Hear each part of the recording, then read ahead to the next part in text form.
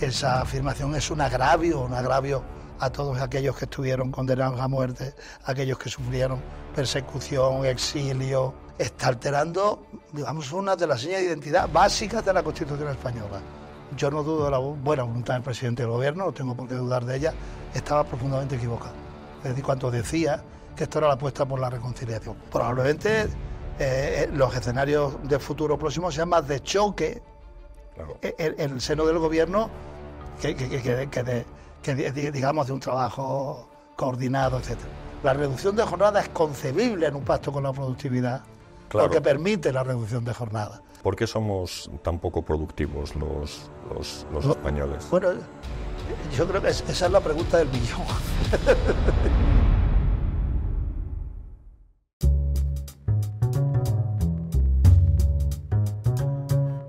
Cándido Méndez, bienvenido y muchas gracias por estar en el, en el, podcast del Liberal. Cándido Méndez nació en Badajoz en 1952, es hijo de un concejal socialista que, como tantos perdedores de la guerra civil, fue condenado primero a muerte y luego a 30 años de, prisión y aunque al final cumplió solo seis años, arrastró el estigma de rojo todo el tiempo que, que, duró la dictadura. Con semejante precedente, pues no es de extrañar que Cándido saliera de izquierdas aunque él mismo reconoce que tuvo una infancia feliz, humilde, pero, pero feliz. Creció en la, en la provincia de Jaén, cursó ingeniería técnica en Madrid y en la capital se afilió al PSOE y a la Unión General de Trabajadores, de la que entre 1994 y 2016 sería secretario general. Lo primero que me gustaría señalar es que el nombre que le pusieron no podía estar peor elegido, porque Cándido no tiene nada de, de Cándido. Lo fácil sería decir que, está en las antípodas del personaje de Voltaire y que él mismo es completamente volteriano, es decir, desconfiado y, pesimista, pero tampoco eso sería correcto porque aunque como avezado líder sindical eh, se prepara siempre para lo peor, pues espera también siempre lo mejor y no es en absoluto catástrofe, al contrario. reconoce, y, así consta en el prólogo de Por una nueva conciencia social, que son las memorias que acaba de publicar, que, y leo textualmente, que en los últimos 45 años la vida de los seres humanos ha experimentado un cambio radical en términos claramente positivos y nuestros índices de desarrollo y bienestar en todas las latitudes han mejorado de manera sustancial. Esta es una frase que podría afirmar, y lo siento, esto si, si, te molesta, sin tocar ni una sola coma, eh, cualquier señor del Cato Institute o Carlos Rodríguez Brown que, que pasó por aquí. Pero claro, ahí se acaban las similitudes, ¿no? Porque si en muchos aspectos Cándido es un heterodoxo, cuando se trata de asuntos laborales, esto como las pensiones, el salario mínimo, la negociación colectiva, pues eh, vuelve al catecismo sindical. Dices, Cándido, que si España no hubiera sido eh, una dictadura cuando naciste, tu trayectoria vital hubiera sido eh, muy distinta. o sea que la transición te marcó y yo querría justamente empezar por ahí, porque se ha idealizado aquella era como la del consenso. Tú mismo escribes que nos dejó un legado duradero que debe observarse como referencia y que los políticos de hoy, los jóvenes, harían bien en analizar la capacidad de, de negociación y la renuncia a los extremos, así como la voluntad de reconciliación para construir juntos. Pero, eh, Cándido, fueron, yo los viví también, por desgracia, pues ya vamos teniendo cierta edad, y fueron años de, enorme crispación. Y no me refiero solo al terrorismo, ni me refiero a Tejero dando tiros en el Congreso. Hablo, por ejemplo, de la dureza de la oposición de Felipe González a, Adolfo Suárez, que no desmerece en absoluto de los debates que vemos hoy en, en el Congreso, o de la dureza de José María Aznar con Felipe González posteriormente. Bueno, yo creo que eso es. Bueno, primero, eh, manifestar mi agradecimiento por esta invitación y decir que yo me llamo Cándido por mi padre. Sí, sí. y, tengo un, hijo de familia. Mi hijo mayor también se llama Cándido y ahí se ha truncado la tradición de. Ya, porque ahora los jóvenes no. Ahora, ahora los apellidos, eh, perdón, los nombres de mis nietas y mis nietos son, son en fin, tienen otra orientación. Ah. eh, entonces, eh, yo efectivamente, yo creo que, que si España, incluso si, se hubiera producido la guerra civil y España al final se hubiera visto, abocada para ir a la, para, eh, entrar en la Segunda Guerra Mundial, probablemente hubiéramos sido una democracia en el año 45, 46, 47, y yo estoy convencido que en mi vida hubiera ido por otros cerroteros, por, una razón muy sencilla, ¿no?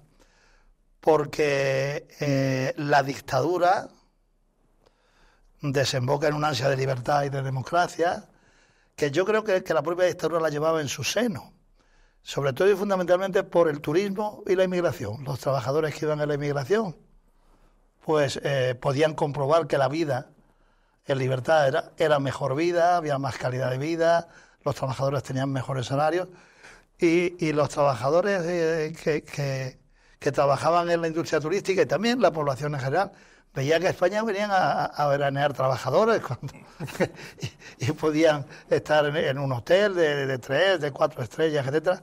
Cuando yo, por ejemplo, de joven no me pude permitir nunca, en fin, mi familia nunca se lo pudo permitir.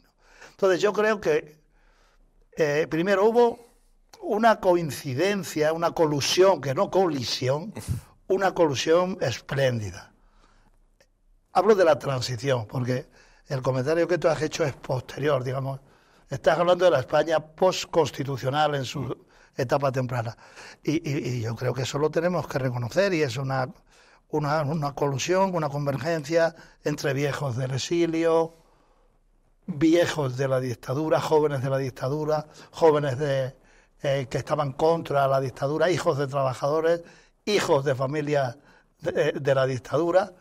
Bueno, llegamos al entendimiento de que, o llegaron al entendimiento, porque yo, yo era un, eh, fui incluso diputado, pero no dejaba de ser un diputado de provincia, no de la Villa y Corte, ¿no? Y, en, aquella primera etapa o franquista cuentas en el libro que ibas por ahí haciendo, haciendo sí, pintadas. Sí, eh, exigiendo la democracia, en fin, y denunciando los crímenes del franquismo, etcétera. Entonces, yo creo que se produce esa colusión y entonces a gente joven pues nos toca abordar eh, unas tareas o unas responsabilidades políticas o sindicales que yo luego he comprobado como en otros países de Europa eso se producía más tardía, ¿no?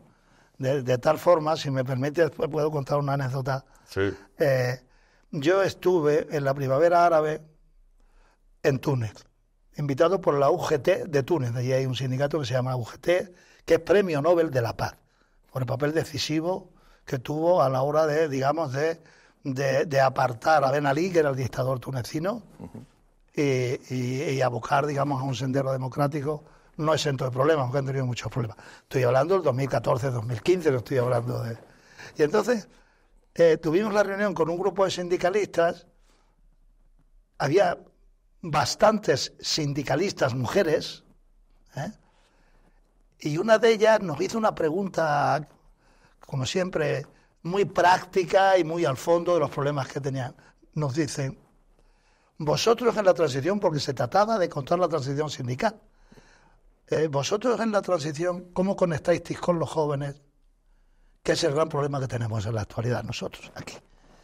Y claro, nuestra respuesta fue, es que los jóvenes éramos nosotros. Yo tenía 26, 24, 25, 26, 28, con, creo que con 28 fui diputado en ese sentido yo hago esa afirmación. Probablemente en una democracia, en una democracia consolidada, pues yo me hubiera dedicado a otros menesteres, ¿no?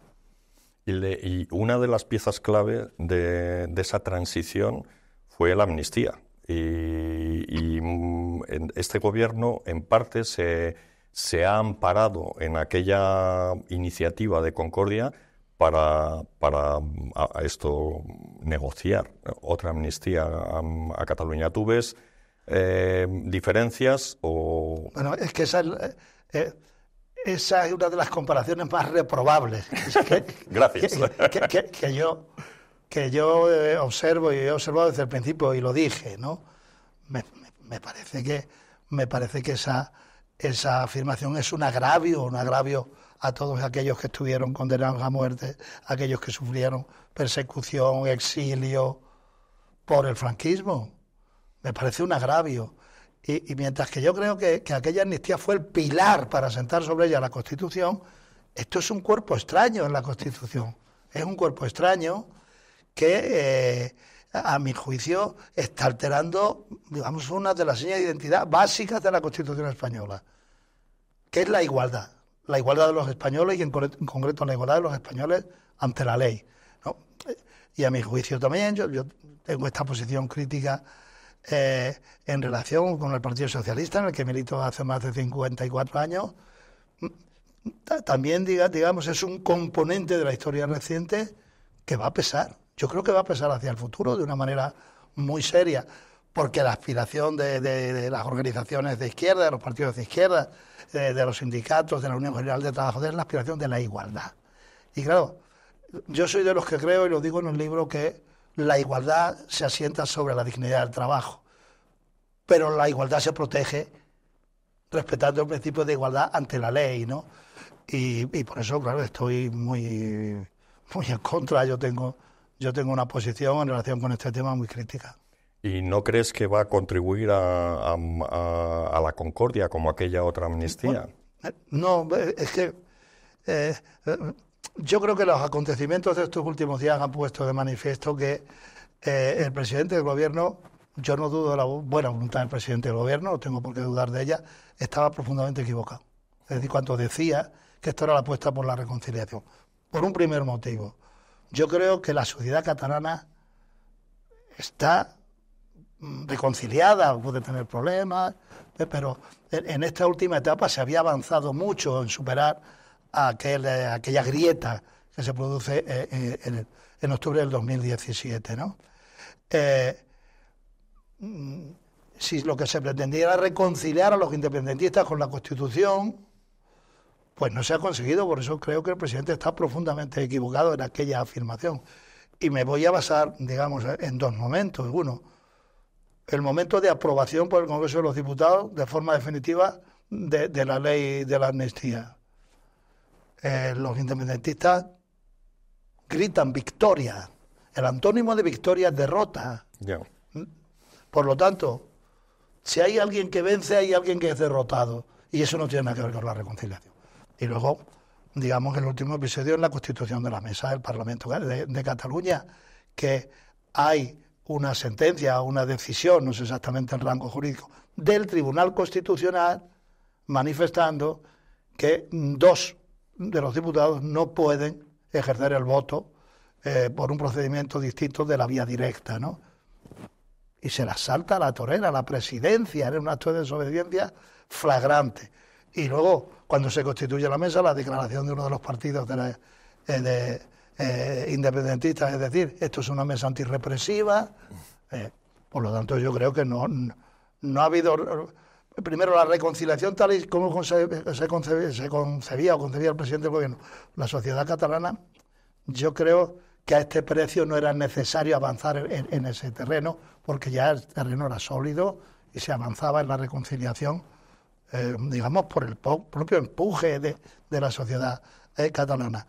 Y luego, claro, en relación con este tema, a la vista está, ¿no? A la vista está que, que esto, desgraciadamente, va a ser un hito y luego pues, hablaremos de referéndum, hablaremos de un sistema singular y privilegiado de financiación, etcétera, etcétera, de reconciliación, nada.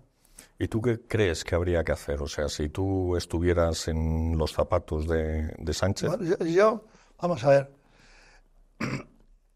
Eh, yo desde el principio, en el debate de investidura, yo no era partidario de la gran coalición, para que quede, para que quede claro, ¿no?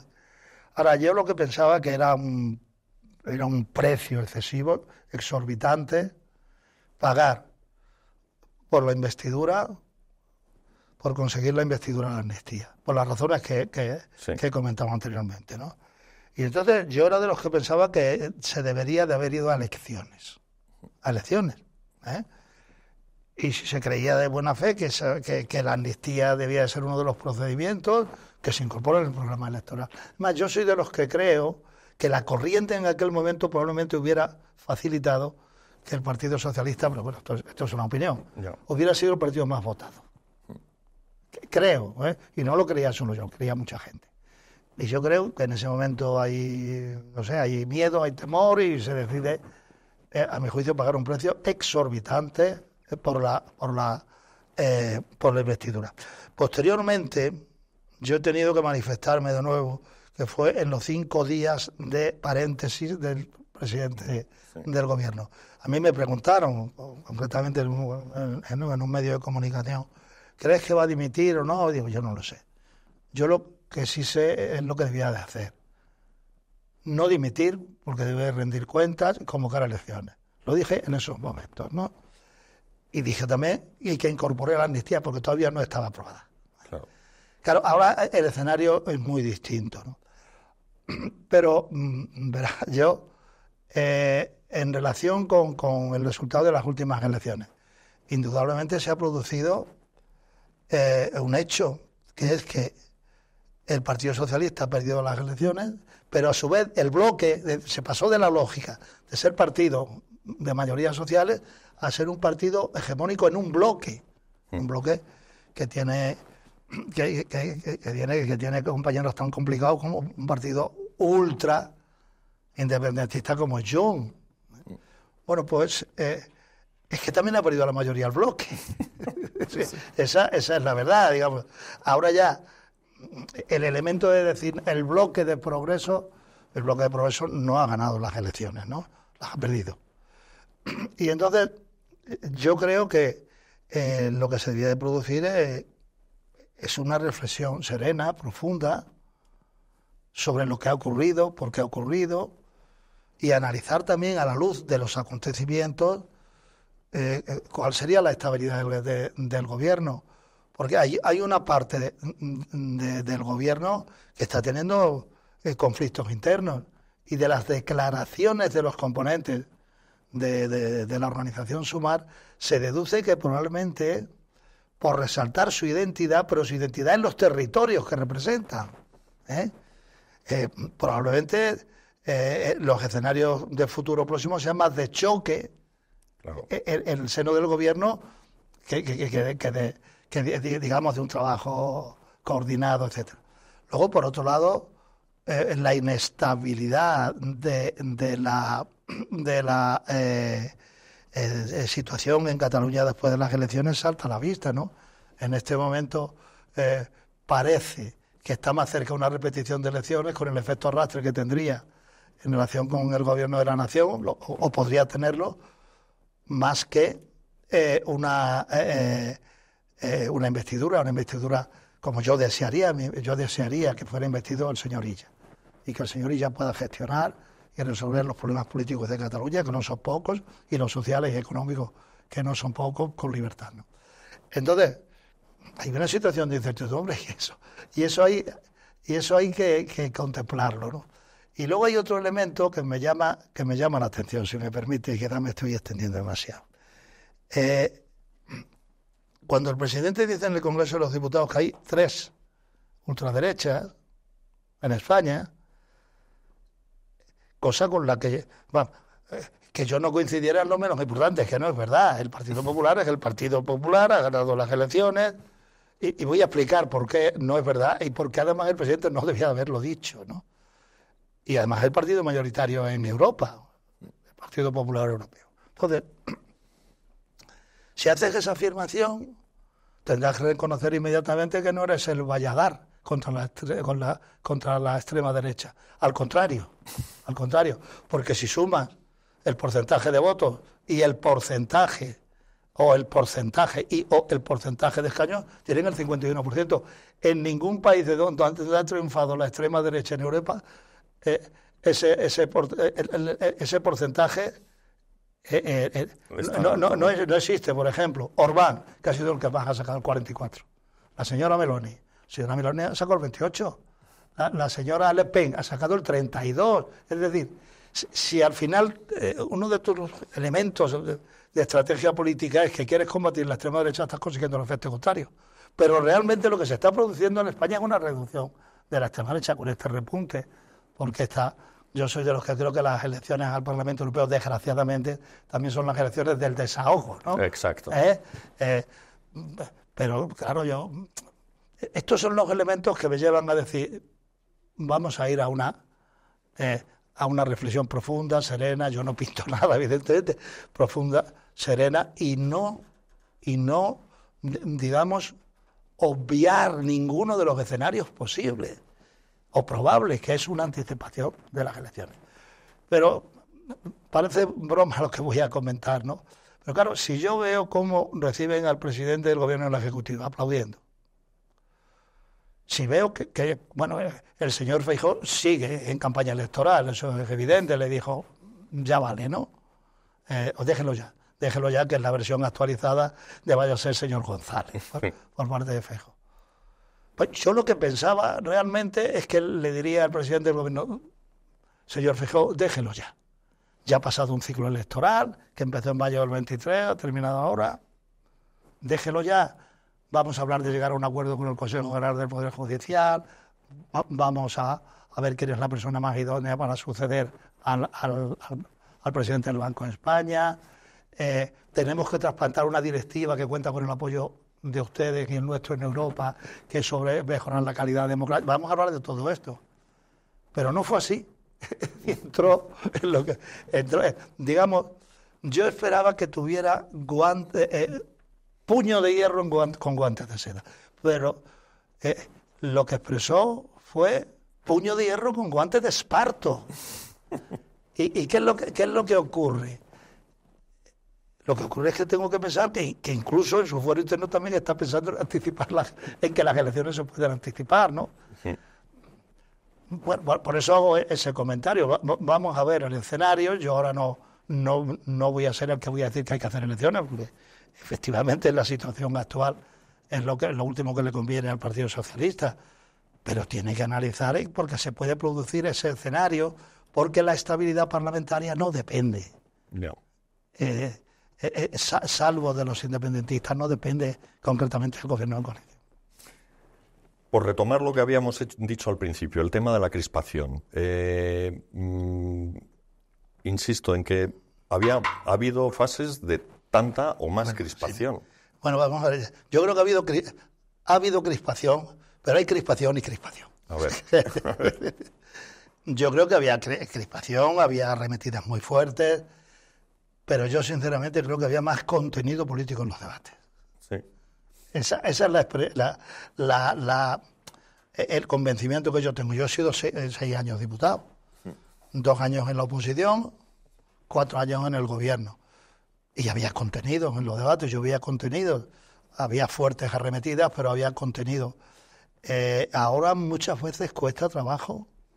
Saber de qué están eh, eh, hablando. sí, yo, yo lo digo sinceramente y lo, y, lo, lamento, ¿no? Lo lamento, lo lamento profundamente. Probablemente en aquella época tuviera una explicación, ¿no? Por, por, por intentar racionalizar el análisis y, llegar a alguna conclusión positiva, que como era una época de desarrollo constitucional, había mucho contenido político, claro. Yo he visto el desarrollo de los estatutos de autonomía, yo, he sido ponente de, eh, de, algunos aspectos de la ley orgánica de libertad sindical, eh, he, intervenido en la ley de, de reducción de jornada, reducción de jornada a 40 horas y de 30 días de vacaciones pagadas, que fuera del 83 probablemente había mucho contenido político, ¿no? Pero es que ahora también lo puede haber de manera de, otra, forma distinta. Voy a poner ejemplos. La ley de vivienda. La ley de vivienda exige, primero, luces largas y segundo, un consenso muy importante. Porque el Partido Popular es gobierno en comunidades y ayuntamientos. Y es oposición al gobierno de la nación. Pero el gobierno de la nación es gobierno de la nación, pero a su vez el Partido mayoritario del Gobierno de la Nación es oposición en comunidades y ayuntamientos. Y las tres administraciones están concernidas por la política de vivienda, ¿no? O por no hablar de los fondos estructurales. ¿eh? Que, ahí, es, ahí es donde yo creo que nos la estamos jugando. Y yo pues tengo la seria preocupación de si no vamos a terminar desaprovechando una oportunidad de cambiar, ¿eh? Eh, digamos, o de orientar de manera distinta la estructura económica de España. Eh, mira, es que has tocado un montón de temas. Vivienda, estructura económica de, España. Mm, vamos, si quieres, con el, con el tema de la vivienda. Esto mm, se han hecho, se ha hecho una ley, esto, pero es una ley que mm, los expertos en general dicen que, que limitar los precios de los alquileres lo único que hace es reducir la oferta. Entonces, si reduces la oferta, agravas el, el, el problema.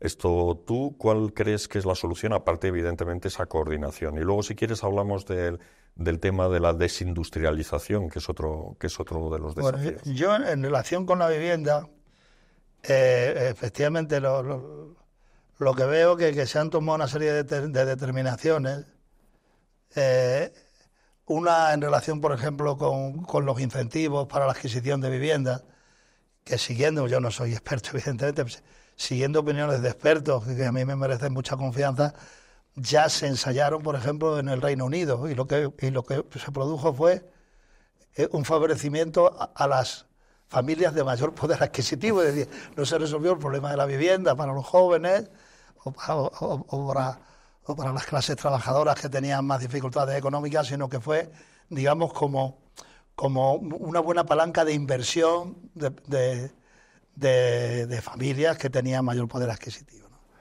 Entonces, yo es que creo que las leyes de vivienda lo que necesitan sobre todo y fundamentalmente es un fuerte consenso de las administraciones. Si no tienen un consenso entre las administraciones y, digamos, bueno, con las empresas y promotoras inmobiliarias, pues yo creo que eso flaquea. Eso me dice a mí la experiencia. ¿eh? Eh, y luego yo creo que lo que no podemos es tener una ley de vivienda cada, cada poco hoy. Eh, eso tiene una inseguridad jurídica brutal, ¿no?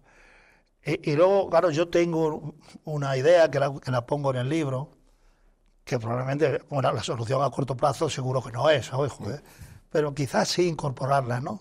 Y en relación con la política de vivienda, llegar a, llegar a un compromiso donde el análisis de partida eh, sea eh, el trabajo. El, trabajo, las oportunidades de empleo, ¿no?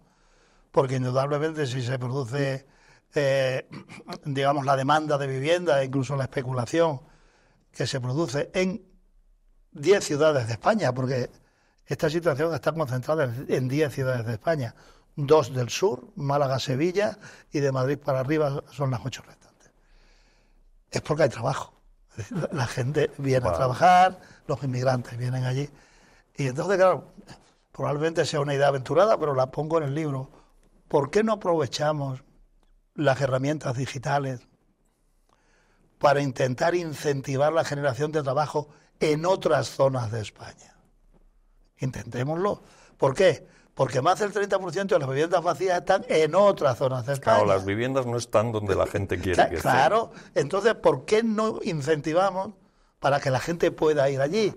Eso significa, digamos, un, compromiso, como decía, a largo plazo, que exige, yo creo que de manera inmediata, cobertura de, Internet, o de, como se diga, 5G, 6G, en toda España porque eso ya es tan importante como tener agua y electricidad para montar una empresa, ¿no?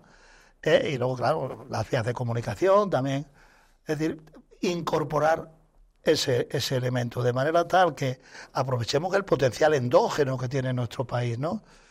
Y esto lo digo porque eh, yo, a, mi juicio, si avanzamos hacia la neutralidad climática, va a haber unos cambios muy importantes, por ejemplo, en el sector turístico. Los tiene que haber en relación con el consumo del agua, eh, en las islas, en los dos archipiélagos, yo creo que tenemos un, un problema serio, que es que no hay alternativas al motor de combustión interna en la aviación, y la aviación contamina. ¿eh? No digo que contamine más que nadie, ni. Eh, bueno, tiene su contaminación, ¿no? Y probablemente, pues eso haya que pagarlo. Esos son costos ocultos que, que, lo mismo hay que pagarlo, ya en parte se pagan, ¿eh? Y, empiece, digamos, a dificultarse la venida de, turistas a los archipiélagos.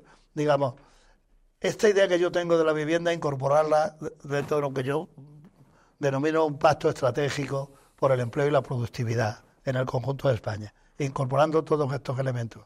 Ahora, siempre me tropiezo con la misma piedra de toque. ¿Qué es? Que hace falta un consenso básico fortísimo entre los sindicatos, los, los empresarios, que ese sí existe con altibajos y, un consenso político y de las instituciones que no existe. Que no existe.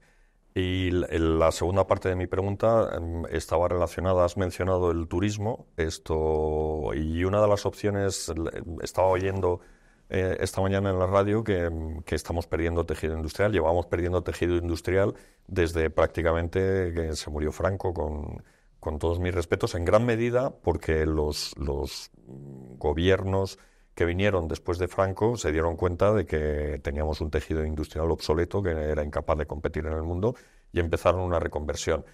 Pero es verdad que siempre se ha echado en falta la calidad del trabajo industrial. Nosotros somos un país fuerte en servicios. Nos vamos a convertir en la Florida de Europa, eso lo mencionas también. En, eh, sí, pues yo, es que creo que no es incompatible ser la, Florida en Europa con tener un sector industrial fuerte, competitivo y, ser, un país potente también en, el sector servicios, pero no solo servicios a las personas, servicios a las empresas. Mm. El problema que nosotros tenemos es que está más basado en el servicio al consumo, ¿no?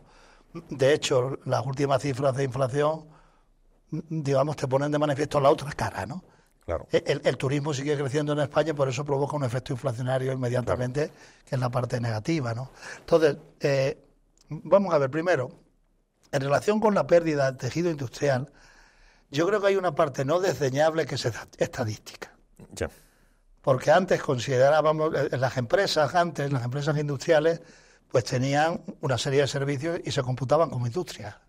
De manera tal, no sé, eh, los servicios de seguridad, los transportes que eran propios, etcétera, ¿no? O la limpieza. Todo eso se ha externalizado. De manera tal que yo creo que hay un efecto estadístico que reduce aún más el, peso del sector industrial, porque todo eso se ha desagregado y ha pasado a servicio.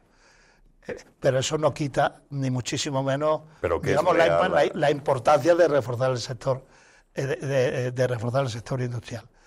Eh, yo creo que, efectivamente hay, que aprovechar la transformación verde y la revolución digital para efectivamente eh, aumentar, proteger, proteger en la medida de lo posible los sectores industriales que tenemos y propiciar a través de la revolución digital la, digamos, el impulso, la aparición de, nuevas actividades de carácter, eh, de carácter industrial. Y, en ese sentido, yo cuando hablo de proteger eh, el, tejido industrial que hay actualmente, puedo sacar a relucir el, el automóvil. El, automóvil da empleo a 440.000 personas creo que son 66.000, 67.000 directas y luego todo el, eh, trabajo de proveedores, eh, que nosotros somos una potencia en la industria, de componentes y tal, ¿no? Eh, por lo tanto, hay que proteger ese sector. Hay que acompañarlo en la reconversión y protegerlo por la capacidad de empleo que, mantiene, pero también porque contribuye a la cohesión territorial. Uno de los sectores que más equilibrio territorial aporta es precisamente el sector del automóvil, porque las empresas de componentes o las distintas fábricas están en distintas comunidades autónomas, ¿no? Entonces, digamos que es, es un sector que como tuviera una reconversión traumática, afectaría aún más, aumentaría más las desigualdades territoriales que hay en nuestro país, ¿no? Eh, yo en ese sentido defiendo en el libro lo que denomino un triángulo virtuoso, ¿no? que sería eh, vincular la descarbonización con la digitalización, que están vinculadas, pero el eslabón, que a su vez una de las dos, sea el trabajo. Es decir, tener en cuenta, a la hora de tomar decisiones en esa materia, tener en cuenta la capacidad de generar empleo, ¿eh? eh, orientando los incentivos, etcétera, sobre todo actividades del sector, del sector industrial, ¿no? Y eh, eso es lo que yo denomino en el libro D3.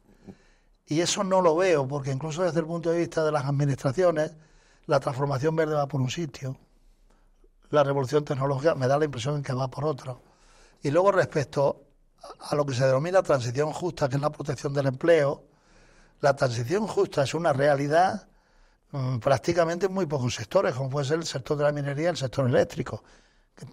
¿Transición justa? que, la, transición justa, justa, lo que quiere decir es que, eh, digamos, avanzar hacia la neutralidad climática o eh, todo lo relacionado con avanzar en la revolución digital no puede ser a costa del empleo, a, costa de, digamos, del deterioro de la cohesión territorial en un país eh, y, por lo tanto de lo que se habla es de tener en cuenta esa dimensión social. Pero a la hora de la verdad, en el empleo, mm, no hay hecho una reflexión sobre transición justa en el turismo, como hablábamos antes. Tampoco lo hay en, la industria del automóvil. Mm. ¿eh? Eh, y, yo creo que, que en ese sentido, pues haría falta una reflexión muy, muy de fondo, incorporando esa dimensión del sector industrial, pero siendo conscientes que las, eh, digamos, las previsiones al 2030, por no hablar más allá, eh, las previsiones al 2030 en España, lo que hablan con mucha claridad, se hablaba en Davos eh, el año pasado, creo que fue, en España necesitamos, por ejemplo, un 80% más de empleo en servicios a las personas, es decir, sanidad, educación, atención a las personas dependientes, etcétera. Y luego un porcentaje también notable en transformación verde que incorpora industria, pero digamos de menos potencial de, empleo, teniendo en cuenta, digamos, yo creo que tenemos que ganar productividad, que es la palabra clave, eh, con la industria y tenemos que ganar empleo y productividad con el sector servicios, ¿no? Y llevarlo al unísono ahí has dicho una palabra clave, porque que, además nos vincula con otro tema del que quería hablar contigo, que es el tema de las pensiones. Productividad. O sea, España tiene salarios bajos porque somos muy poco productivos. ¿Y por qué somos tan poco productivos los, los, los españoles? Bueno, yo creo que esa es la pregunta del millón. No, hay, o sea, hay un asunto que tú mencionas en tu libro que es el tamaño de las empresas. Sí, sí, por eso digo, lo digo porque no hay una opinión, eh, digamos, digamos, no hay una receta, una receta única, ¿no? Eh, yo, por ejemplo, hablo de, del tamaño de las empresas porque en este caso el tamaño sí importa. Es decir, más allá de que sean de servicios industriales, la diferencia que tenemos con Alemania es lo que ellos denominan Mittelstand, que son las empresas medianas, de 100 trabajadores, de 150 trabajadores, que tienen muchas más que, en nuestro caso. Porque la productividad de nuestras empresas, de las grandes empresas, es similar a la de las, eh, grandes empresas del mundo. Pero, el, o sea, el tamaño determina la inversión en tecnología y, la, internacionalización. naturalmente. Y luego tenemos otros problemas. Eh, por ejemplo, a mí me ha llamado poderosamente la atención una, una cifra que ha sacado Eurostat ahora, en relación con el nivel educativo, el 29% de los trabajadores españoles tienen un bajo nivel educativo. Pero de los empleadores hay un 34%. De los empleadores. De los empleadores hay un 34% y un 35% autónomo. Si tú analizas, eh, digamos, la fila de Alemania, si no recuerdo mal, la fila de Alemania es 16% bajo nivel educativo de los trabajadores, 11% los empleadores menos y 10% autónomos, o al revés, 10 empleadores. Entonces, por eso digo que hay que atacar desde diferentes, desde diferentes flancos. Sí, hace falta eh, una reforma de la educación, o sea, tú... bueno, yo, yo lo que creo es que nos eh, volvemos a la misma. Eh, nos sobran nos sobran reformas educativas y nos falta una reforma educativa que de verdad genere consenso y sea de largo aliento. Claro, ahora yo he visto con sorpresa y amargura que eh, en la nueva EBAU, que va a haber una nueva EBAU, resulta que se habla de, de ser más rígido en relación con la falta de ortografía, porque por lo visto una cosa elemental y, fundamental, como es la corrección a la hora de escribir, parece que, en eso hacemos agua, ¿no? Por, lo tanto, todo eso, eh, todo eso hay que tenerlo, hay que tenerlo en cuenta. Y luego, yo creo que hay algo que sí nos interpela al conjunto de la sociedad, ¿eh? y que interpela sobre todo fundamentalmente a los empresarios. ¿Cómo es posible que 800.000 jóvenes titulados españoles se hayan ido entre el año 21 y 22 fuera. Porque aquí no los consideramos útiles para las empresas y están todos trabajando y son útiles en las empresas europeas.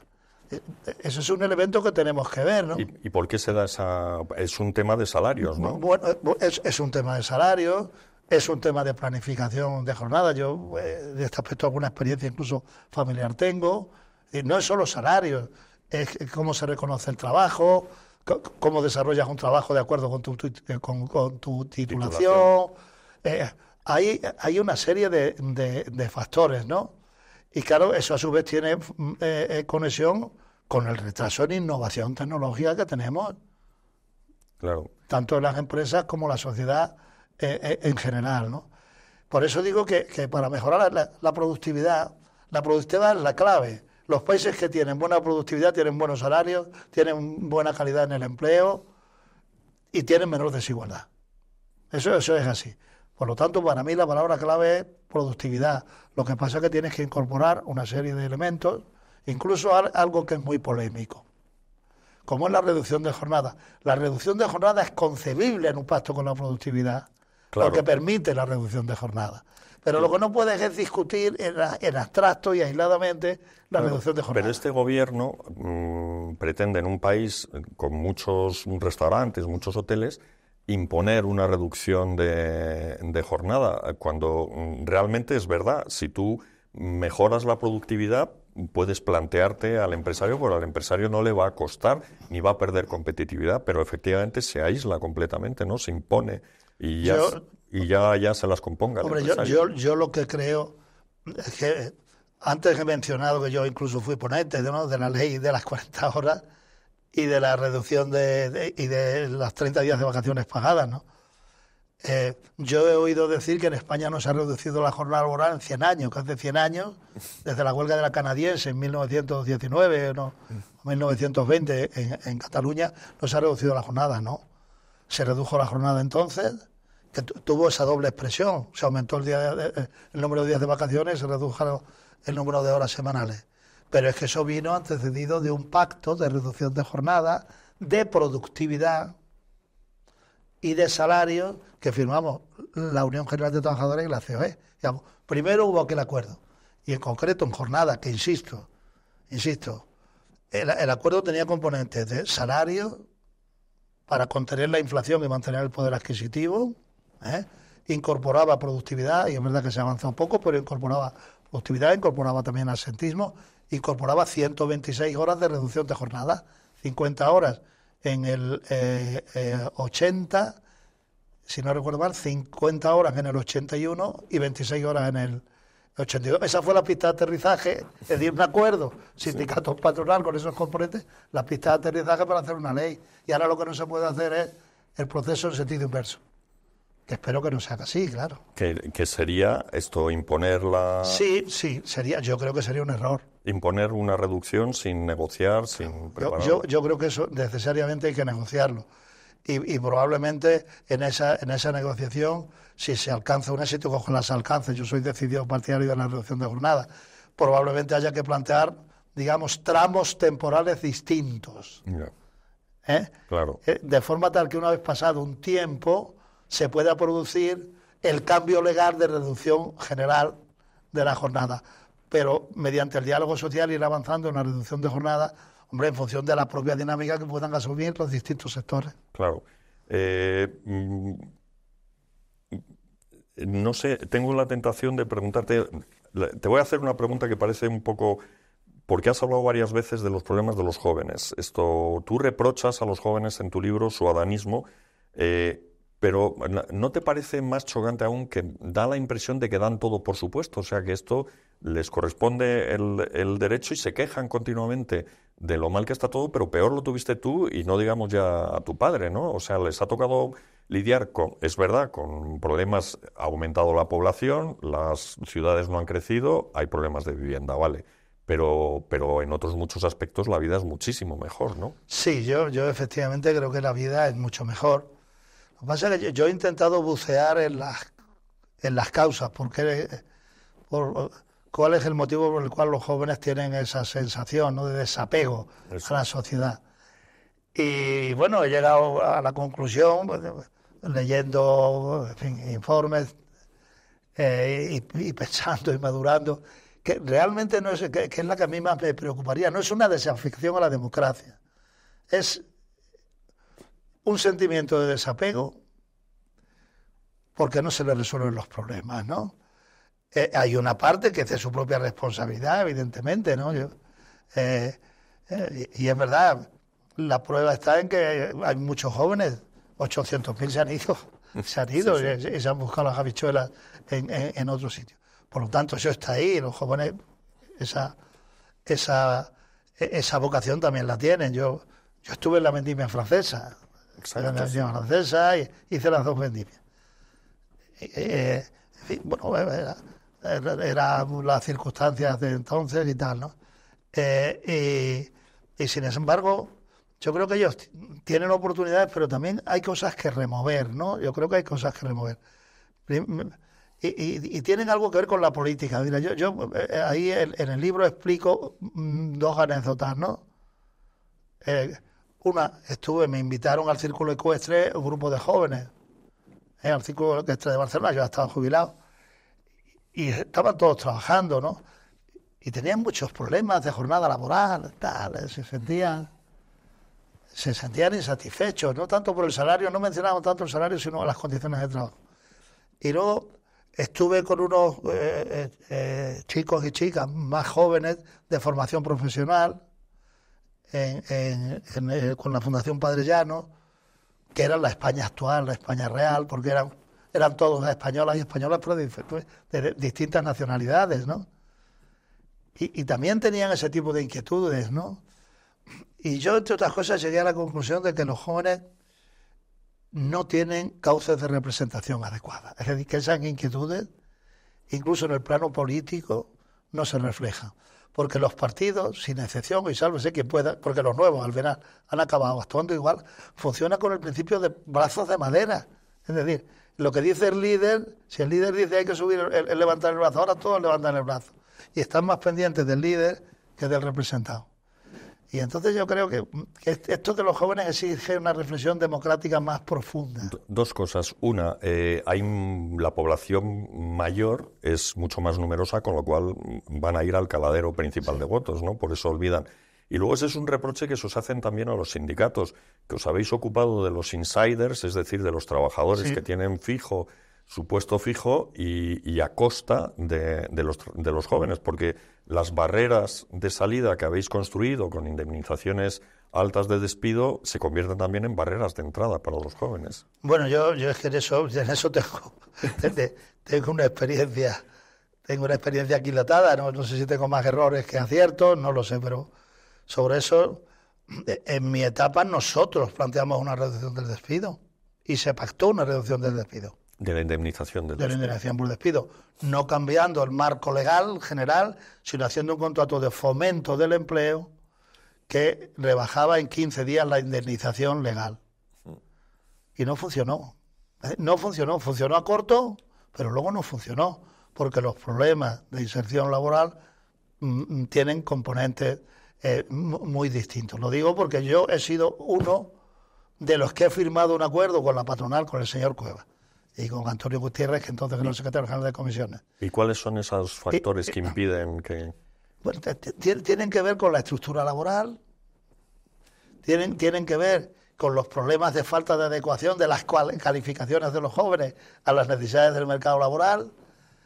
Eh, y esos son, a, mi juicio, los temas que están gravitando de una manera, de, una manera más, más seria, ¿no? Y luego, que también hay un cambio de cultura en las empresas, que yo creo que es erróneo. ¿Y ¿Eh? ¿En qué consiste ese cambio? En el sentido de que se le da poco valor a la estabilidad en el empleo y a la experiencia. ¿eh? Eh, de manera tal que en España se produce un fenómeno que es preocupante. Claro, los jóvenes son los, últimos en entrar y cuando se despiden son los primeros en despedirlo. Sí, sí, claro. pero, pero no es tanto por el valor de la indemnización, o, o al menos a mi juicio, ¿no? que la indemnización al final no deja de ser una, una salvaguarda. Yo creo que hay un elemento de mentalidad empresarial que hemos tenido un ejemplo muy interesante en la COVID, que, que, digamos, adoptar una mentalidad distinta funciona. En la recesión económica, las empresas optaron por despedir. Las empresas grandes no, ¿eh? las empresas grandes sí, sí que sí, sí, sí que protegen su patrimonio laboral. ¿eh? Claro. Despidieron cuando no le quedado otro remedio. Y ahora, por ejemplo, se ha demostrado que se puede hacer un expediente de regulación temporal y con el expediente de regulación temporal puede sobrellevar una situación, ¿no? Yo lo que he hecho en falta de lo que ha pasado es que debía de haberse producido, eh, o se debía de haber aprovechado ese periodo para cualificar a los trabajadores con empleo, que tenemos un problema de, cualificación. De políticas activas. De, políticas. No, hablo de cualificación de los trabajadores con empleo, que, eran, ah. que eran los de los ERTE. ¿no? Eh, eh, entonces, yo creo que eso es lo que tiene, en cierta medida, atenazado a los jóvenes. ¿no? Eh, Yo, por ejemplo, lo que sí declaro es inocente al salario mínimo interprofesional. ¿eh? Declaro inocente a las subidas del salario mínimo interprofesional eh, cuando se plantea, eh, digamos, primero había una barrera, el salario mínimo se puede subir. Luego la barrera se ha alzado en parte, no se ha dicho, bueno, se puede subir. Pero ojo que los jóvenes no se colocan. ¿eh? Bueno, cualquiera lo puede comprobar. Un país que tiene un salario mínimo muy superior al nuestro, que es Alemania, es el, que tiene menos paro juvenil. Los cuatro países de mayor desempleo juvenil en España son por este orden. España, Grecia, en España, perdón, en Europa. España, Grecia, Italia y Suecia. España y Grecia tienen salario mínimo. Pero Italia y Suecia no tienen salario mínimo, no tienen ningún salario mínimo. Con los sindicatos no lo quieren, entre otras cosas. Porque creen que con la negociación colectiva es, como que hay, hay que, que, digamos, definir el avance de los salarios. Por lo tanto, el problema no está ahí. El problema no está ahí. Ese puede ser un problema, yo reconozco que puede ser, pero ese no es el problema. Claro, el salario mínimo, esto mm, dices que que las advertencias sobre el riesgo para el empleo que supone su incremento son más un artefacto ideológico que un planteamiento respaldado por la evidencia empírica. Sí, eh, por el ejemplo que acabo de poner. Pero si no hubiera relación entre empleo y salario mínimo, podríamos ponerlo en 3.000 o en 4.000, ¿no? Esto tiene un impacto. Otra cosa es que en un momento de, de, crecimiento no se note bueno, Es que el, salario mínimo, hay una convención en Europa, que es la Carta Social Europea, que el salario mínimo pues, eh, debe de alcanzar el 60% del salario medio, que es lo que en este momento creo que estamos. Eh, sí, ahora mismo. El, salario medio. Pero luego es que yo creo que además, hablando de productividad, el salario mínimo también es un incentivo, es, es un incentivo para que mejoremos la productividad, ¿no? Eh, yo creo que sigue siendo válido aquel, aquel viejo dilema. ¿A quién nos queremos parecer? ¿A nuestros vecinos de Marruecos o, a nuestros socios comunitarios de Alemania, ¿no? Y yo creo que, esta serie de elementos son los que hay que tener en, los que hay que tener en cuenta. Yo... Pero no, no corremos porque sí que se advierte en, en, las estadísticas una reducción de las horas de trabajo. No da, la da, no da la impresión, o por lo menos el Banco de España dice primero que se han dejado de crear puestos de trabajo y luego que sumerges a parte de la economía. Eh, eh, el problema de la reducción de las horas, que es verdad, es un fenómeno que se está produciendo también en Europa. En todo el mundo. En todo el mundo. Desgraciadamente no por mejoras de la productividad, que podría ser, sino por las contrataciones a tiempo parcial. Ya. ¿Eh? Por, la, por, digamos, por contrataciones que, que, que muchas, pues concretamente en España la contratación a tiempo parcial en su gran mayoría es involuntaria y afecta a las mujeres.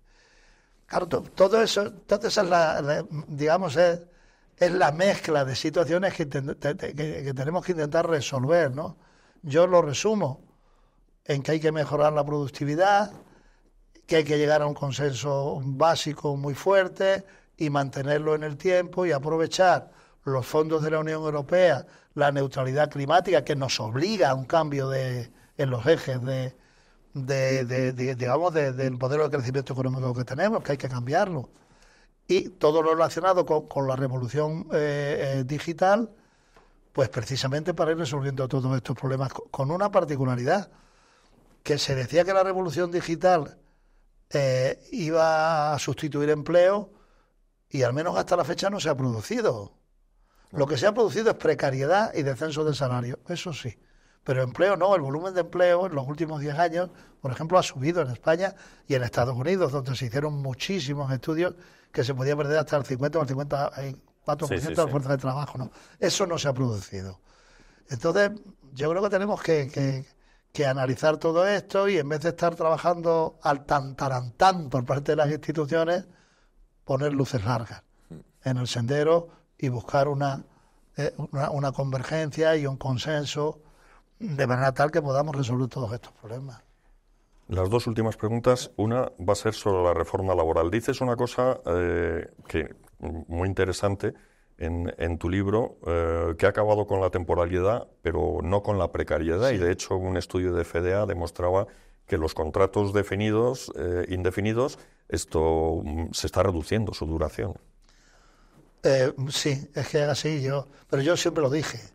Dije, La Unión Europea nos ha puesto dos deberes en el mercado laboral. Uno, reducir la temporalidad, otro, reducir el paro juvenil. El paro juvenil no hemos conseguido reducirlo, la temporalidad sí, utilizando un viejo compañero de viaje, que es el contrato fijo discontinuo, que ya existía en España. Se ha eliminado el contrato de obra-servicio y así se ha reducido la temporalidad. Pero es que la precariedad es un concepto más amplio. Claro. Y entonces la precariedad no se ha resuelto. Ni siquiera creo yo que la, la reforma laboral lo que ha creado es un clima favorable a la creación de empleo, pero la creación de empleo viene de los factores relacionados con la actividad económica, la actividad de, de los sectores. Sí, yo, mm, por lo tanto, creo que tenemos asignaturas pendientes muy serias, que es cómo reducir la precariedad, que eso significa que hay que mejorar los salarios, hay que avanzar más efectivamente hacia la contratación indefinida a tiempo completo, porque eso ha sido así.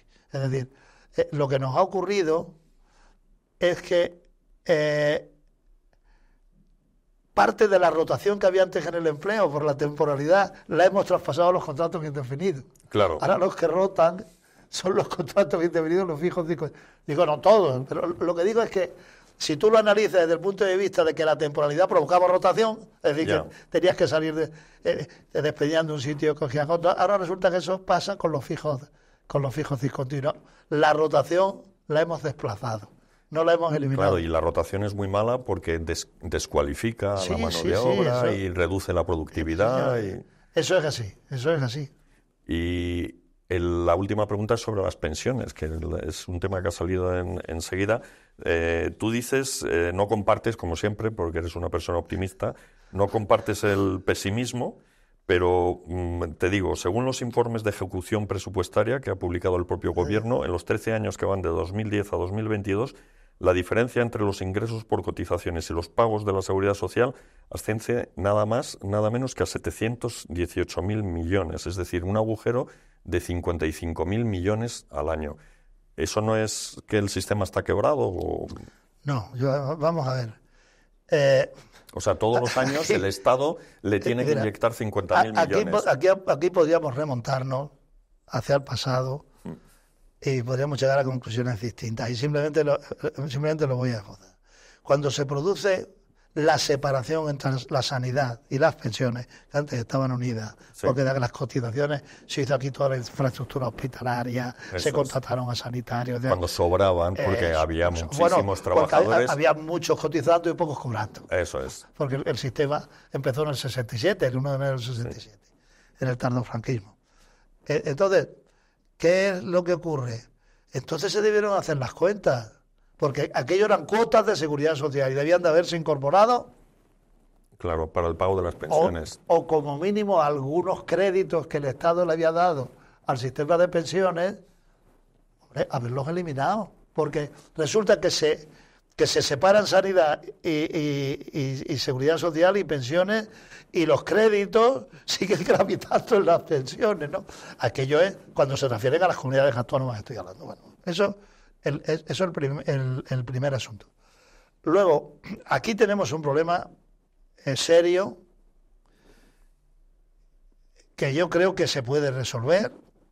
Luego diré eh, el, el elemento que lo, menciono en el libro, un elemento que se debía tener en cuenta y poner en ejecución, eh, que es efectivamente pues que ahora estamos en una escalada de, de- nuevos eh, pensionistas, con una particularidad que se ha intensificado.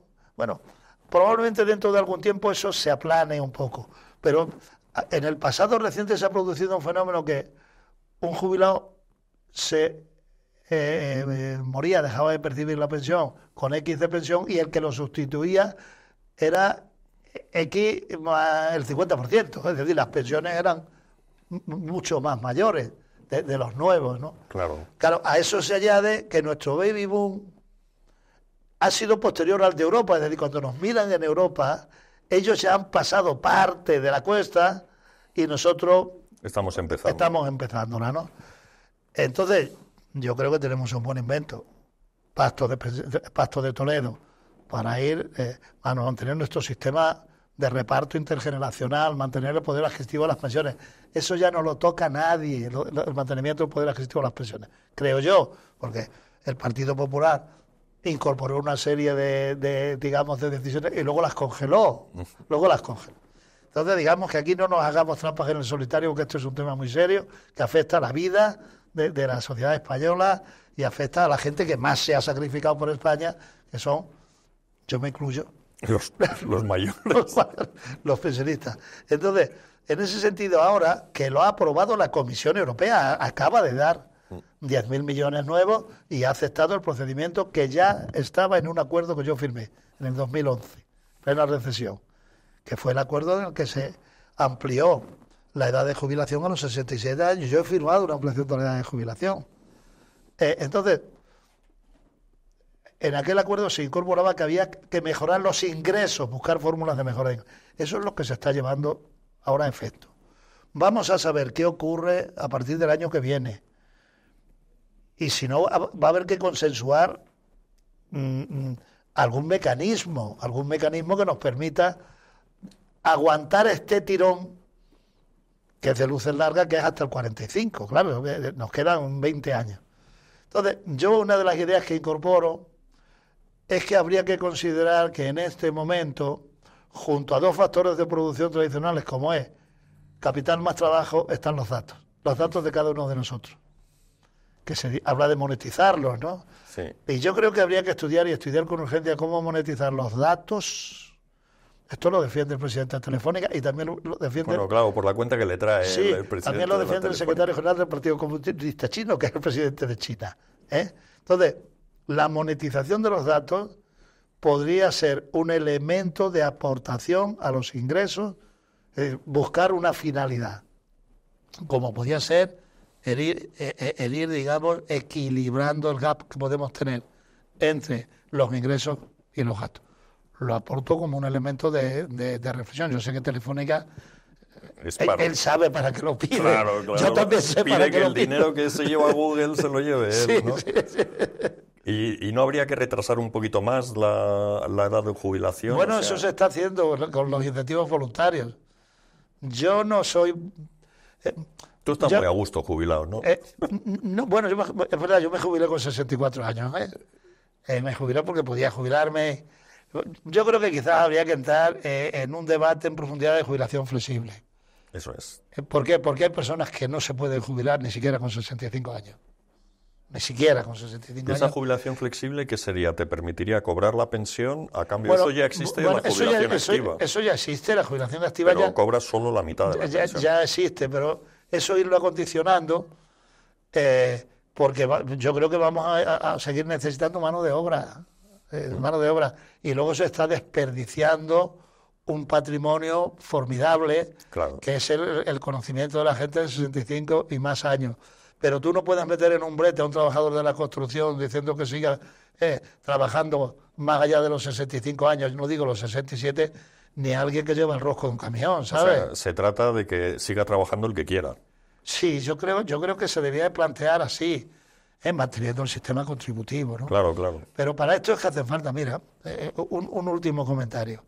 Yo me he preocupado de mirar eh, los mayores de 55 años en el 2003 y los mayores de 50 años, eh, 5 años en el 2023.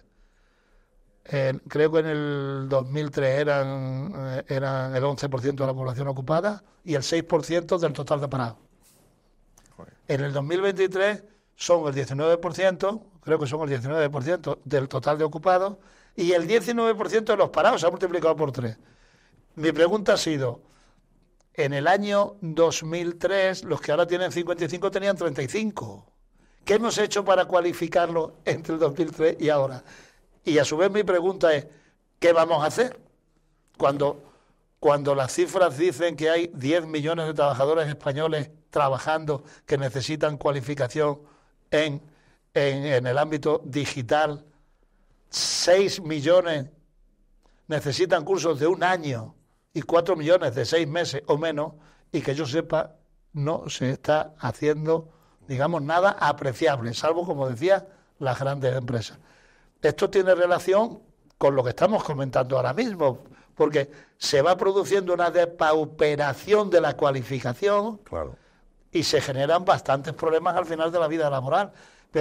Eso también habría que verlo para que no nos vuelva a ocurrir. Pues nada, oye Cándido, pues, me ha encantado la conversación. No, te, la, Esto, te agradezco pero, muchísimo. Pero se me han quedado un montón de ¿Eh? temas en, el tintero, pero bueno, ya, ya está bien. Muchas gracias y gracias a ti. Y espero seguir viéndote tan activo en el Bueno, sí, sí, sí.